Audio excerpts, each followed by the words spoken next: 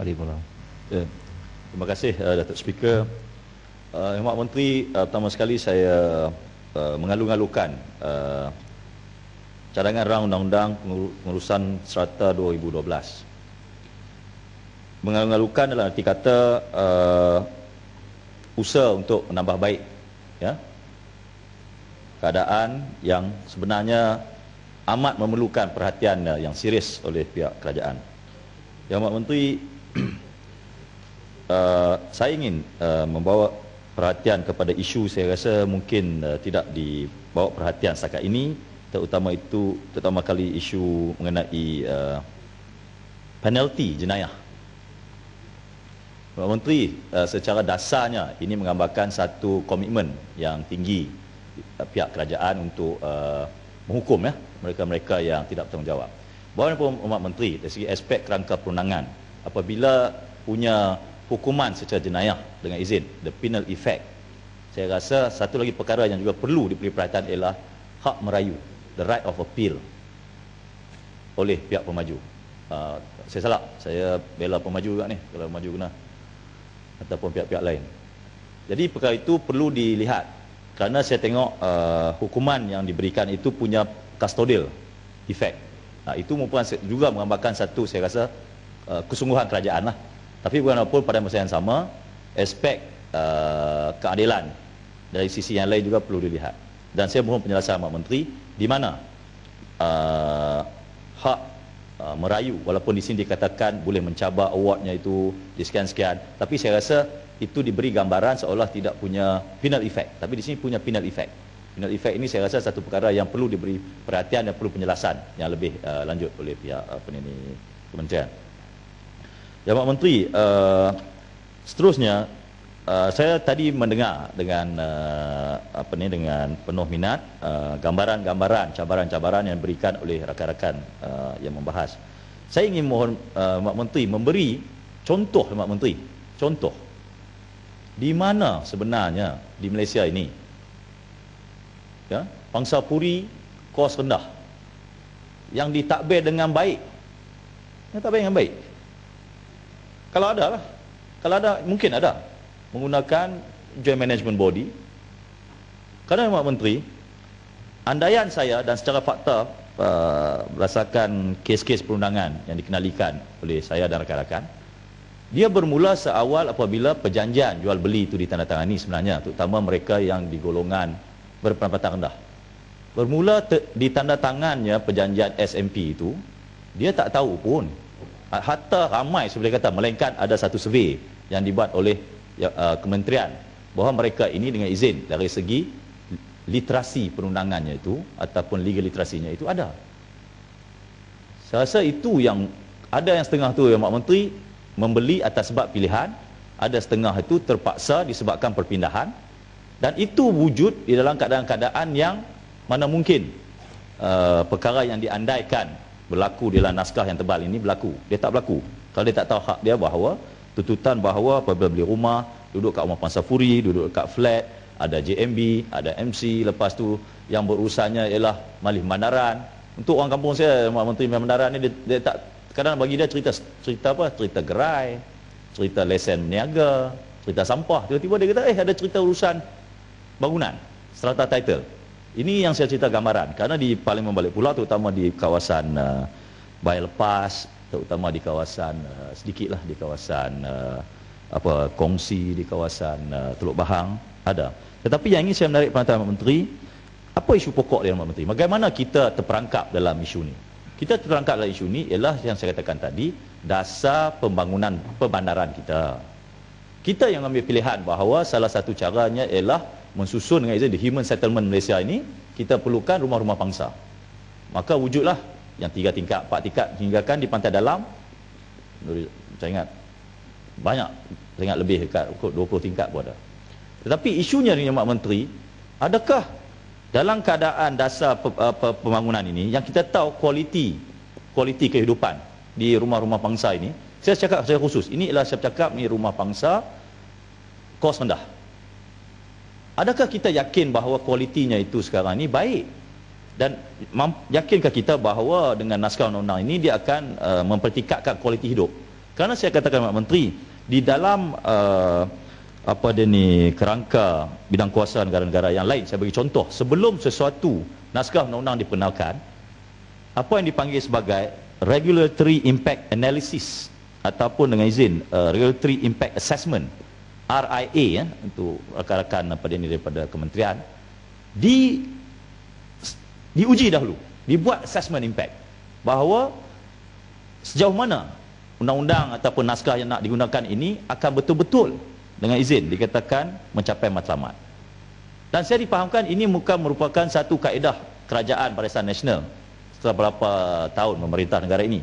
Tidak diperkenalkan regulatory impact analysis atau regulatory impact assessment ketika mana mana-mana naskah undang-undang nak diperkenalkan di Dewan ini. Jadi timbullah tadi perbandingan antara yang dulu dengan yang sekarang.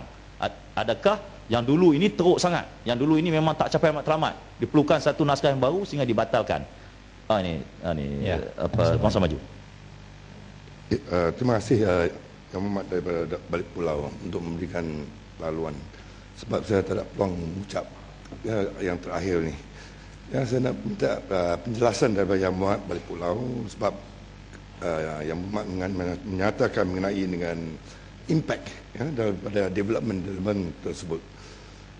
Sama ada yang berhormat sedar atau tidak bahawa sekarang ini di wilayah persekutuan amat banyak itu pangsa puri diluluskan ya oleh itu pihak berkuasa seperti di BKL atau di Selangor oleh uh, kerajaan tempatan ya yang tidak mengambil kira infrastruktur yang sedia ada sekarang.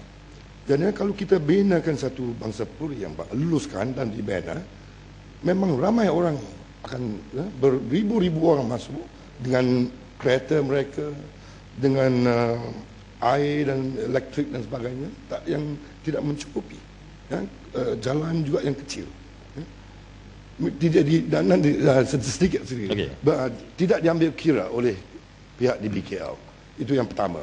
Yang kedua ini menimbulkan banyak masalah sosial ya. Yang kedua di BKL pun mereka tidak menjalankan tugas mereka dengan yang, yang baik. Kerana developer-developer ni di Kuala Lumpur atau di uh, Selangor mereka bekerja lepas masa sampai uh, kerja construction sampai pukul 12, pukul 1, 2, 3 sampai pagi. Ya, ini mengganggu kacau penduduk-penduduk di uh, tempatan. Mereka komplain kepada DBK tidak tindakan seperti di Sevel at Malawati. Ya several melawati sama ada yang umat setuju bahawa kerajaan uh, perumahan pun kena ambil kira itu komplain-komplain uh, atau aduan-aduan yang telah diambil dan kerana DBKL tidak ambil tindakan dengan tegas semasa nak beri apa-apa kelulusan dari segi keluarkan lesen ataupun advertising permit mengambil kira tingkah laku mereka bila mereka menjalankan tugas mereka sebagai uh, seorang uh, itu pemaju. Terima kasih yang uh, balik pulang. Okay, terima kasih uh, Wangsa Maju sebab saya juga faham uh, di Wangsa Maju itu Mak Menteri banyak apa dia ni rumah pansa-pansa apa ni pansa puri terutama pansa puri rendah. Tapi yang lebih penting Mak Menteri kita perlu lihat Menteri telah wujud satu kelompok tadi satu perkataan digunakan oleh rakan saya tadi daripada Padang, saya Padang Besar kot dia kata ghetto Benda ni ialah satu eh, kalau betulkan saya tadi. Saya pakai mana besar tadi pakai. Ya betul lah. Ghetto ni Mak Menteri kita adakah inikah yang kita nak wujudkan di bandar-bandar ini? Ya Mak Menteri ingin saya katakan di sini kepada uh, pegawai di, di di di di belakang sana. Masalah sebenarnya di dalam Allah 21 ni bukan saja masalah civil political right sama menteri saya mohon dengan izin menteri saya dah banyak kali saya ulang tapi saya, saya tak dapat respon dan saya tegas sekali sekali kalau ianya masih lagi yang sama kita masih dalam kerangka yang sama masalah perancangan bandar hari ini masih lagi terperangkap di dalam kerangka lama urbanisasi yang mana menggambarkan bahawa proses industrialisasi ini material, apa materialistiknya ini akan menyebabkan seolah semuanya bersifat bandar city is everything sebenarnya city is not everything ya mak menteri kalau kita masih hari ini merangka perancangan bandar kita bahawa luar bandar itu ataupun desa itu sentiasa menjadi tempat-tempat yang kita panggil apa? leftovers, baggage kepada bandar. Itu gagal. Perancangan hari ini sentiasa membentuk urban and rural. Dua tempat berbeza, jadi sumbernya berbeza. Ini akan mewujudkan banyak perkara lain. Inefficiency, uh, beban, hmm, masalah sosial seperti yang bangkitkan oleh Subang. Yang ingin saya tekan ni, Mak, Mak Menteri, satu saya Mak Menteri, cadangan saja. Kalau Kementerian Perumahan hari ini tidak menatangani, tidak cuba pun mengikut apa yang saya katakan tadi itu dicadangkan dengan terbukti berkesan oleh UN Habitat uh, UN Habitat yang mana mengambil kira bahawa hak perumahan itu bukan satu hak biasa. Dia merupakan satu hak asasi.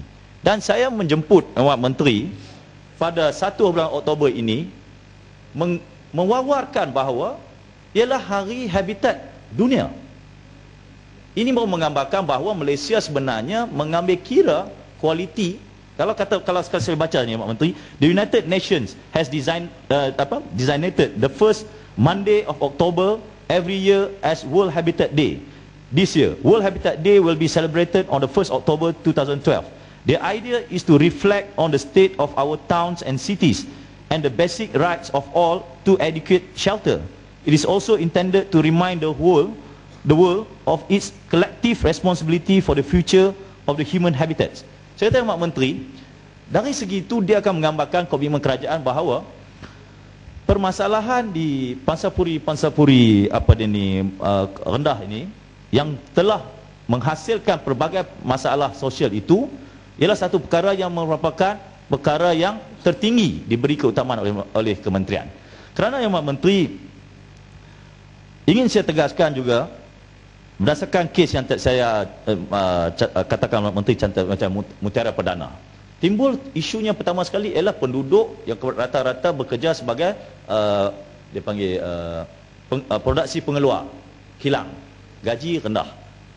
Beli rumah daripada pemaju pemaju ya dia tahu dari segi undang-undang kita kena buat uh, persatuan. Jadi persatuan penduduk pun masuk. Bila masuk pemaju pandai. Dia sponsor.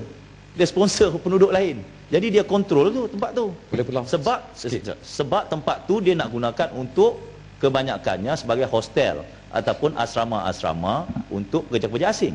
Dan sehingga kan kita yang memilih untuk tinggal di situ dengan ada anak, ada isteri, ada apa dia ni saudara mara, tempat itu tidak dikatakan sesuai. Tetapi kita tidak punya pilihan. Dan saya rasa aspek itu yang Mak Menteri tolong uh, jelaskan bagaimana melalui akta ini dengan izin kita panggil apa balance bargaining power itu akan wujud Ha, itu soalan saya. Kalau tidak, atas nama undang-undang ni lah, mereka yang ingin kita bantu itu tidak terbantu. Terima kasih uh, Yang Muhammad Wali Pula dan terima kasih uh, Yang Muhammad uh, Datuk ini, ini betul. Uh, sebelum Yang Muhammad pergi lebih jauh, Yang Muhammad bangkit tentang joint management body dan juga management uh, uh, corporation. Saya ingin bertanya Yang Muhammad, bersetuju atau tidak tentang dua terms ataupun terma Iaitu berkaitan dengan pengurus harta ataupun property manager dan juga building manager ataupun pengurus bangunan. Kerana saya dipahamkan dalam pengurus harta ni dia agak uh, mengikat kepada satu keadaan uh, monopoli. Kerana kalau kita mengikut akta penilai pentaksir dan ejen hartanah ataupun uh, penilai valuers, uh, pengurus harta ni kita lihat dia lebih menekan uh, kepada ejen-ejen pengurus yang lain dengan uh, keadaan mereka mempunyai lisen yang dioperate dengan uh, dengan mempunyai entiti korporat dan sebagainya. Jadi bersetuju atau tidak balik pulau supaya istilah ini kita tukarkan kepada pengurus bangunan ini yang dirasakan ianya lebih relevan dan tidak mencetuskan kontroversi kepada para penilai yang akan menggunakan keadaan ini untuk menekan para ejen-ejen ataupun pengurus yang dilantik kerana ia lebih tepat menepati dengan joint management body yang Muhammad bangkitkan tadi. Terima kasih. Okey, terima kasih Arau. Uh, Arau bangkitkan satu isu saya rasa yang boleh, amat penting. Boleh ya? Boleh saya boleh saya sambung sikit daripada uh, Arau. Ini tadi. sebab jaga komta, ngurus harta, terbukti saya, saya bagi. Terima kasih banyak. Terima kasih banyak tuan tuan yang betul. Saya setuju pada Karau tadi oleh kerana di dalam akta tersebut ya, akta juru nilai pentaksir dan juga ejen hartanah dia ada satu klausa perkara 21 kurungan 1A yang mana uh, istilah pengurus bangunan itu hanya tertumpu kepada satu bahagian profesional saja. Maka kalaulah istilah ini digunakan, maka mereka-mereka yang sekarang ini sedang mengurus bangunan-bangunan premis ini yang dipanggil sebagai pengurus bangunan, hak mereka dinafikan 100%. Jadi saya ingin bertanya pada pada uh, balik pulau dan saya setuju sangat kepada Arau kalau sekiranya istilahnya digunakan maka hak bagi mereka-mereka yang sedang menguruskan hari ini dinafikan oleh klausa 21 1 dan A dalam uh, dalam akta yang sama. Ha? Terima kasih.